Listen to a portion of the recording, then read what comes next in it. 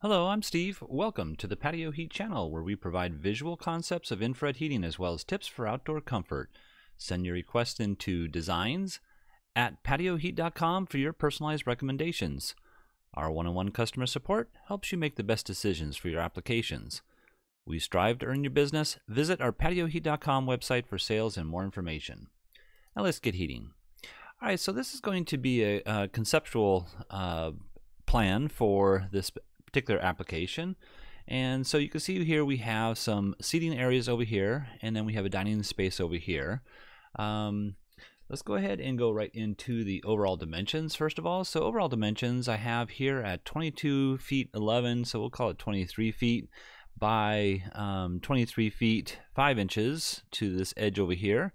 Uh, you can see that um, the floor plan I received and I pretty much matched that up. So um, we'll go ahead and turn that off and look at the elevation of this uh, overhang here, which is nine feet off the finished floor, and then I think it's about two and a half feet roughly to uh, the depth here. So I think that's pretty much about it. And let's go ahead and turn that off and then look at some of the uh, options that we might have. Um, so first of all, the plan showed that they were um, intending on pla placing uh, four infrared heaters in the ceiling here, which is okay. Um, the only major uh, concern that I have is that you're meeting the clearances to combustibles. And um, clearances to combustibles would be from this edge of the heater to any combustible uh, edge over here of 18 inches. So it needs to be 18 inches from this point to any combustible surface. And if these doors open swing out, that could be a potential uh, issue for that. But I believe the are they are doors that slide left and right. So, um, but these are the uh, Infratech heaters. I recommend the Infratech heaters because they're number one made here in the United States from a company that's been in business for well over 50 years, and they make very nice product. Um, and that's one of my uh, preferred uh, applications or preferred uh, product lines. Um, and so, in any case, let's go ahead and look at the footprint of heat. And the footprint of heat you can see here with the seating um, placed kind of not completely underneath the uh, overhang here. We're not getting 100% of coverage here. Um, so that's one of my uh, you know first concerns and um, I would probably want something a little bit different. So this is going to be some of my recommendations or suggestions, and um, we'll see if this works for them. So I'm going to go ahead and turn off the ray, and then I'm going to add in a couple of other uh, Infratech heaters. These are, um, and by the way, those are flush mount uh, 4,000 watt units, and these are um, CD 6024 6,000 watt 240 volts and let's go ahead and look at the um, footprint of heat. And let's go ahead and turn that on. And you can see here with the uh, wall mounted units at 30 degree angles. Um, so straight down 30 degrees up.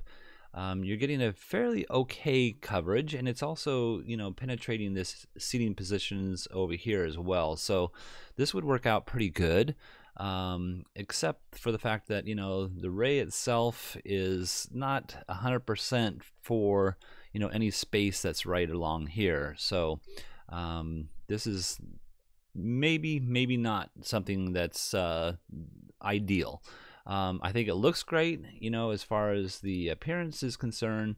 Um, you don't see you know the rays themselves but uh, the heaters themselves would be like that um, and I didn't put the windows on either side here, um, so I'm not 100% certain of where those windows were. But um, another thing you could do is you could add an additional two units. Now, adding an additional two units might be too much for the space, um, but let's just go ahead and place that roughly, you know, 10 feet maybe. Um, and this is where I'm kind of having a little uh, issue with the fact that you know is it going to overhang this edge over here you know if we pushed it over just a couple of inches more so that we're not overhanging that uh, edge there but um, now you can see the footprint of heat has changed and um, it's a much more uniform amount of heat for this space. Uh, you could change the angle slightly so that you know we're not really penetrating so much over here that the ray itself is uh, penetrating more in that area. Let, let's go ahead and just change that maybe by about 10 degrees. And um, we'll go like about that. And now you can see that the uh, ray is overlapping a little bit better. So this you know even though that this is the ideal amount of heat um, that comes off of the heater, uh, you know, approximately 10 feet out. Um, you do have the overlapping rays, so you know this would be a warm spot for you know the position itself. Now, most people can only feel about um, if you had it on a wall mount here, about eight feet out from the center. So you know, looking at the center of this patio, Let's go here to here. You can see that, you know, we're roughly 11 feet. Um, so that overlapping ray would be very important if you were sitting out over here. All right, so that is the um, the CD series, and let's go ahead and turn that off right now, and then look at another possibility, which would be going with a Sunglo um, mounted unit in the ground and um, these are 50,000 BTUs a piece and um, they put out about a seven and a half foot uh, radius out. Um, so the um, you know whole diameter is about 14 feet and what you really want is you want something about you know from center to center about 10 foot center to center. I think these are a little bit further away from that but uh, you get very nice overlapping rays and this whole space would be heated just wonderfully. Now, um, the sitting position over here is still, you know, potentially not ideal. So let's go ahead and move these over maybe about a foot and a half. And um, you can see now the ray is still, you know, crossover rays over here, which you probably don't really need. So we could even move them a little bit further to the, you know, dining table over here but um, you can see that the ray is uh, very well penetrating the whole entire space here. So um, the other thing I want to mention about these is that um, let's go ahead and look at something else over here real quick. Um, this is the Sunglo heater here. This is a PSA 265 model, 50,000 BTU natural gas unit. And then this is here is the underground vault box. And the underground vault box um, is something where this would be flush to the finished floor surface and then um, you would uh, just place the heater itself so you could take this post and slide it down into the receiving section of the post. It, it lands on this uh, uh, little bar coming out here and then um, you can tighten up this bolt if you wanted to and um, that would maintain the heater itself in position.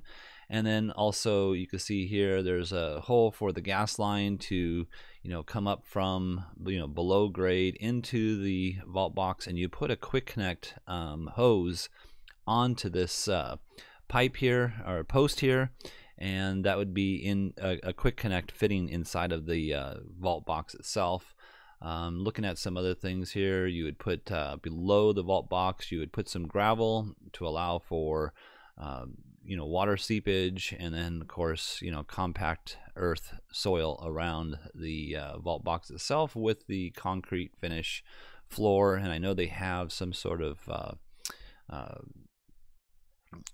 you know finished tile type of uh, top here. Um, so, and that also could be added to the uh, door, or there's a panel that fits on top of here. It actually, you could flip it upside down and then place, you know, a rock or, you know, tile work on top of that. So the only thing you'd actually physically see is this portion here when this uh, heater is removed.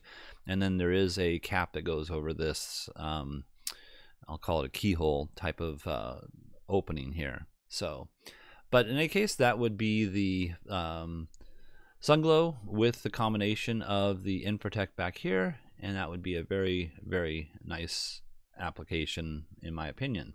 So that would be my ideal um, recommendation for this position, and uh, hopefully this helps you out.